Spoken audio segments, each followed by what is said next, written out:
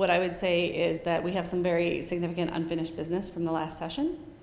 And so we will get started uh, right away looking at tax conformity, addressing the opioid epidemic, uh, nursing home uh, abuse and neglect, um, and other issues that were, that were wrapped up in that 990-page bill that fell on the last day of session. There were a number of things that were almost unanimously supported that we should just uh, peel out of there and get done right away. And we will make sure that on policy, on, on outreach, and on presence in all parts of the state, we will be there. And we look forward to having a very productive, very hard-working legislative session that serves the people of Minnesota, working very closely with Governor Walz and the Minnesota Senate.